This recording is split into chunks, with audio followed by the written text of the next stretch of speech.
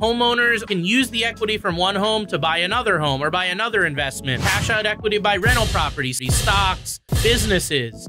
The intention doing that is to grow your net worth, right? Because you're paying interest. There's a cost to getting access to this money. Is your return going to be higher than the cost? That's big. One of the reasons why financial advisors love homes and mortgages is because it's automatic savings every single month, especially when your your tenure in that property is many years or decades there's an automatic savings every month.